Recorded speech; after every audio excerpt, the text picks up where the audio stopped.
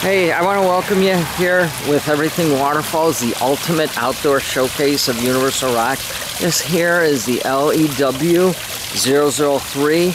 I have it as the large backyard landscaping pond waterfalls. And the only reason I add a lot of those other words, it kind of gives you ideas. Hey, I can put this in my backyard. Yes, it's a large waterfall.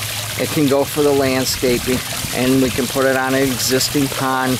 Here I just put it with a divot of water because a lot of your natural waterfalls coming out of your hills and mountains come right into a pool of water and then they ca keep cascading down.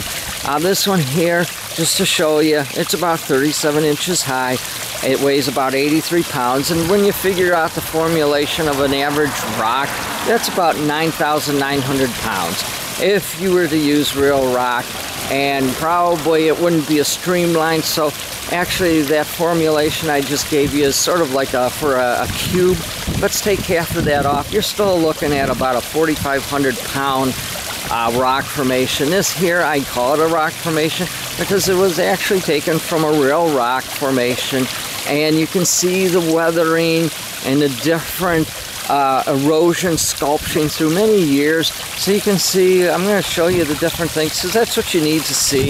You got the where it comes up at the top and there's different little divots or pools of water along the way with the different cascading into where the pond is. The back, a lot of people ask, is the back finished off? It is finished in the back here. Um, so this here is ready to set up.